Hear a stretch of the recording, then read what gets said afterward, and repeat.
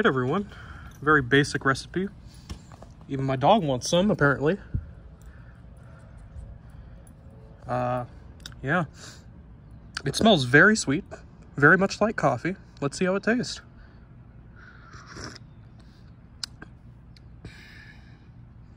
It tastes like pure Tabasco. That tastes kind of good though. Hold on.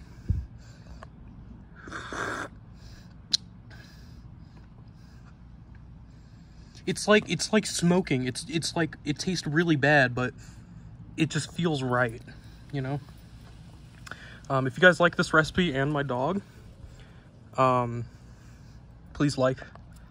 Yeah, bye-bye.